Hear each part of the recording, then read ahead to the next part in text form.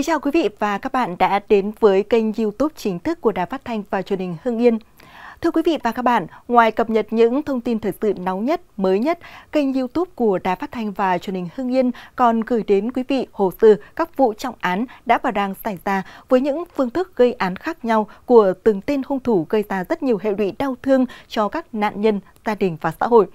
Có thể hồ sơ vụ án xảy ra đã lâu, nhưng mỗi vụ án ở đó là một bài học cảnh giác cho chúng ta trước những đối tượng coi thường pháp luật cần phải lên án trong đời sống hàng ngày mà Đài Phát thanh và Truyền hình Hưng Yên muốn truyền tải tới quý vị. Sau đây là nội dung chi tiết của vụ án ngày hôm nay. Mời quý vị và các bạn cùng theo dõi.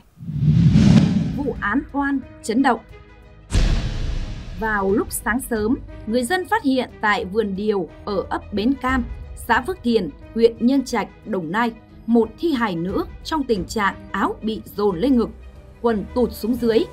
Nạn nhân là chị Trần Thị Thanh Dung, ngụ ấp Long Hiệu, xã Long Tân.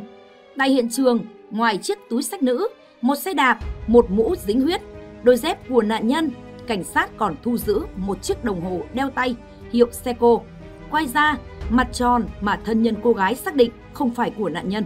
Cùng lúc đó, cơ quan điều tra nhận được tin báo vào lúc 6 giờ sáng cùng ngày, một người đã nhìn thấy ông Bùi Minh Hải, cán bộ thống kê của xã Long Tân, kiêm bảo vệ công ty xây dựng Hà Linh, ngụ cùng ấp với nạn nhân, đã đến hiện trường tìm chiếc đồng hồ. Khi ông Hải vừa chuyển xong chuyến xe tải chở đầy cây kiểng từ nhà ra chợ, chưa kịp nhận tiền hàng thì công an ập tới bắt ông vì tình nghi đã lấy mạng cô Trần Thị Thanh Dung. Nghe lệnh bắt mà ông vẫn không hiểu chuyện gì đang xảy ra. Tại cơ quan điều tra, ông Hải thừa nhận chiếc đồng hồ trên là của mình – Tuy nhiên ông Hải cũng cho biết là ông không hề hay biết gì về việc chị Dung bị làm hại. Lý giải về chiếc đồng hồ nằm gần hiện trường, ông Hải cho biết đêm xảy ra án mạng, ông đi dự tiệc tất niên cùng với mấy người bạn ở trung tâm xúc tiến việc làm, huyện Long Thành, tại trung tâm huyện Nhơn Trạch, cách nơi xảy ra án mạng gần 13 cây số. Tại đây, ông có ngồi uống rượu. Do uống rượu say nên khi chạy xe đến địa điểm trên thì bị té ngã, làm chiếc đồng hồ bị rơi Sáng thức dậy, phát hiện chiếc đồng hồ bị mất, ông đã chạy xe lại khu vực bị ngã để tìm. Mặc dù ông Hải đã tương trình rõ sự việc và đưa các bằng chứng ngoại phạm, có nhân chứng cụ thể, tuy nhiên phía cơ quan điều tra cho rằng căn cứ vào chứng cứ thu được tại hiện trường, lời khai của nhân chứng và các tài liệu đã thu thập được đã có đủ căn cứ để xác định ông Hải chính là thủ phạm. Do đó cơ quan điều tra vẫn quyết định khởi tố vụ án khởi tố bị can và bắt tạm giam đối với ông Bùi Minh Hải. Ông Hải một mực kêu oan, nhưng lúc này lời nói của ông không còn đáng tin với các cơ quan điều tra. Các thủ tục lấy cung, tra xét được tiến hành y hệt như đối với tội nhân nguy hiểm vừa gây án. Hơn 24 năm đã trôi qua, nhưng mỗi lần nhớ lại 405 ngày chịu cảnh tù tội, người đàn ông này vẫn dùng mình. Để tôi nhận tội, những điều tra viên đã dùng nhiều hình thức nhục hình để ép cung dùng đòn tay chân có, dùng đòn tâm lý có. Họ bằng mọi cách ép tôi phải nhận tội. Nhưng hơn 200 trang hồ sơ, không có trang nào tôi ký nhận tội. Bị coi như tên tội phạm nguy hiểm, tên sát nhân bị xích chân. Nhiều lúc tuyệt vọng, ông Hải đã có ý định dùng sự ra đi để kêu oan. Song rất may mắn, ba lần quyên sinh đều không thành. Do sợ tù nhân làm điều dại dột, phí trại giam đã đưa ông Hải vào phòng biệt giam, cùng chặt hai chân Mỗi lần nhớ lại cảnh đó, ông kể vẫn thấy nhói đau. Từ một người đàn ông khỏe mạnh, có công việc, có danh dự, uy tín, tôi trở thành kẻ tu tội, bị xích bằng xích sắt. Ngày đêm đều không biết, ăn và vệ sinh cùng một chỗ, cảm giác nhục nhã, e trời đó còn theo ám ảnh tôi suốt cuộc đời. Sau đó Tòa án Nhân dân tỉnh Đồng Nai mở phiên sơ thẩm xét xử. Tại phiên tòa, đại diện Viện Kiểm sát đề nghị áp dụng khung cao nhất khi được cho phép nói lời sau cùng trước khi hội đồng xét xử vào nghị án. Ông Hải vẫn tiếp tục kêu oan, nếu tôi là tội phạm hãy xử phạt tôi, nhưng tôi vô tội. Lời kêu oan cuối cùng này cũng bị bỏ qua. Ông Hải bị tuyên án tù trung thân. Năm đó ông Hải vừa tròn 43 tuổi với bốn đứa con. Đứa lớn nhất vừa học xong lớp 12 đã đi làm, còn đứa thứ hai đang chuẩn bị thi đại học. Nhưng nghe tin cha bị như thế, nó bỏ thi ba trường Vợ ông, bà luôn gồng mình lên, vừa lo nuôi các con, vừa tích góp được đồng nào thì vào thăm và động viên chồng.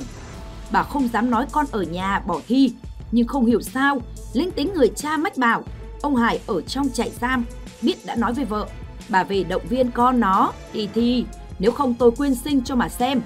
Ông dặn vợ không được nói chuyện này cho gia đình họ hàng biết, nhưng vụ án quá nổi tiếng. Vì thế người thân của ông biết đã xa lánh ông, cho ông là tội đồ. Ông càng đau khổ cùng cực. Hạnh phúc thay, khi vợ ông lại có một niềm tin tuyệt đối ở chồng mình. Bà tâm sự, tôi không bao giờ nghĩ ông ấy lại gây ra tội ác như vậy. Chúng tôi sống với nhau bao nhiêu năm, tôi rất hiểu ông ấy. Trong những hoàn cảnh cam go nhất, tôi vẫn khuyên các con hãy tin cha mình. Vì cha nói ông không có tội, nghĩa là cha trong sạch. Trong thời điểm đó, trên các mặt báo, một cuộc chiến thực sự đã diễn ra. Báo chí đã có những bài viết cho thấy khả năng oan sai của vụ án Bùi Minh Hải rất lớn. Trước hết, thời điểm nạn nhân bị lấy ma, theo cơ quan điều tra, Bùi Minh Hải đều có các nhân chứng xác nhận ngoại phạm. Thế nhưng kết luận điều tra nói rằng từ 18 đến 19 giờ, Hải đi đâu, làm gì, không ai biết được. Và kết luận trong thời gian này, anh ta đã thực hiện hành vi phạm tội. Theo kết luận giám định Fabi, thức ăn trong dạ dày của nạn nhân đã tiêu hóa khoảng 2-3 tiếng. Cha mẹ của nạn nhân cho biết nạn nhân ăn cơm lúc hơn 17 giờ chiều. Như vậy thời điểm nạn nhân mất phải là từ 19 giờ 30 đến 20 giờ 30 cùng ngày. Trong thời gian này, nhiều người cũng làm chứng cho biết anh Hải đúng là ngồi nhậu chung với họ tại trung tâm xúc tiến việc làm huyện Long Thành, cách hiện trường khoảng 13 cây số. Nghĩa là thời điểm nạn nhân mất, ông Hải không có mặt tại hiện trường. Điều đáng nói là lúc 22 giờ 20 phút, chính một điều tra viên của huyện Nhân Trạch cũng đã thừa nhận anh đã dừng xe máy gần hiện trường vụ án, chiếu đèn xe cho anh Huỳnh Văn Dũng, em kết nghĩa của anh Hải, Đỗ anh Hải lúc này đang ở trong tình trạng say rượu té ở mép đường. Từ lời khai của các nhân chứng đều trùng khớp với lời khai của Bùi Minh Hải về thời gian và nội dung bị cáo vẫn kêu oan. Sau khi nhiều báo vào cuộc và lên tiếng, Bộ Công an chỉ đạo Công an tỉnh Đồng Nai làm sáng tỏ vụ án, không để lọt tội phạm, không bắt oan người vô tội. Giữa bốn bức tường xả lim lạnh lẽo và đau đớn, điều ông Hải lo nhất lại là vợ và các con. Giờ này vợ và các con tôi đang sống ra sao? Liệu họ có tin rằng tôi bị oan? Liệu họ có đủ niềm tin và nghị lực sống để đợi cho tới ngày tôi được minh oan? Ông trời thương, 13 tháng sau, hung thủ thật sự đã bị bắt. Khi công an bắt được Nguyễn Văn Tèo trong vụ án gây án mạng, hắn đã khai nhận hắn chính là hung thủ đã lấy mạng chị Dung trong vụ án trên. Lúc này, Viện Kiểm sát Nhân dân tỉnh Đồng Nai quyết định trả tự do cho ông Hải mà không cần chờ tòa xét xử phúc thẩm. Bùi Minh Hải được trả tự do trong tình trạng sụt 8 cân, gãy một bên quai hàm. Ông được bồi thường 59,9 triệu đồng cho việc khởi tố truy tố và kết án sai. Có 11 cán bộ của cơ quan pháp luật liên quan thụ lý vụ này bị đình chỉ công tác hoặc cách chức. Theo quy định, ông Hải được khôi phục công việc cũ và phục hồi danh dự, nhân phẩm. Không lâu sau khi ông trở về, các cơ quan tố tụng tỉnh Đồng Nai về xã Long Tân tổ chức một buổi lễ long trọng để xin lỗi công khai công dân Bùi Minh Hải và yêu cầu xã Long Tân khôi phục chức vụ cán bộ thống kê cho ông. Quý vị và các bạn thân mến, những thông tin vừa rồi đã khép lại chương trình Hồ sơ vụ án trên kênh YouTube của Đài Phát thanh và Truyền hình Hưng Yên. Cảm ơn quý vị và các bạn đã quan tâm theo dõi. Xin kính chào tạm biệt và hẹn gặp lại.